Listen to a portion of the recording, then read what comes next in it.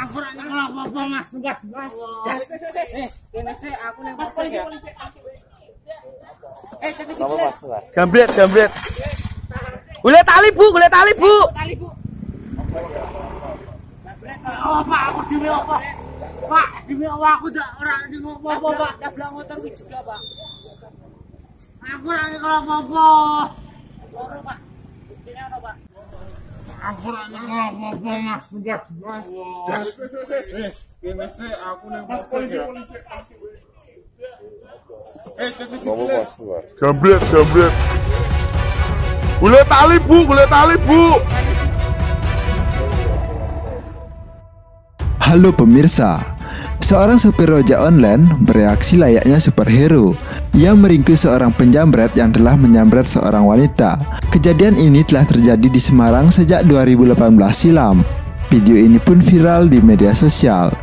Dalam video terlihat si supir ojek online ini meminta tali, tetapi para warga yang lain terlihat menonton doang. Banyak netizen berpendapat semestinya warga yang lain cepat membantu mencarikan tali, bukan malah menonton saja. Bahayanya jika si pencopet berhasil kabur, besoknya takutnya mencopet lagi.